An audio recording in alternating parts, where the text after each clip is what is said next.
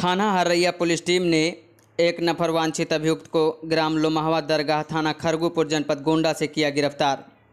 बलरामपुर जनपद के पुलिस अधीक्षक राजेश कुमार सक्सेना द्वारा अपराधियों अपराधियों पर अंकुश लगाए जाने हेतु चलाए जा रहे अभियान के क्रम में अपर पुलिस अधीक्षक बलरामपुर नम्रता श्रीवास्तव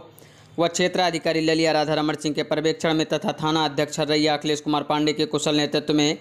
उप निरीक्षक Ramkripal Verma, head constable Rampheran head constable Santosh Kumar व कांस्टेबल अमित कुमार के द्वारा थाना स्थानीय हरैया पर पंजीकृत मुकदमा अपराध संख्या निन्यानबे बटे बाईस धारा तीन सौ चौवन आई पी सी व सात बटे आठ पाक्सो एक्ट से संबंधित वांछित अभियुक्त रहीमुल्ला कुरैशी पुत्र मोहम्मद यूसुफ कुरैशी ग्राम लोमावा दरगाह थाना खरगोपुर जनपद गोंडा से गिरफ़्तार कर माननीय न्यायालय भेजा गया।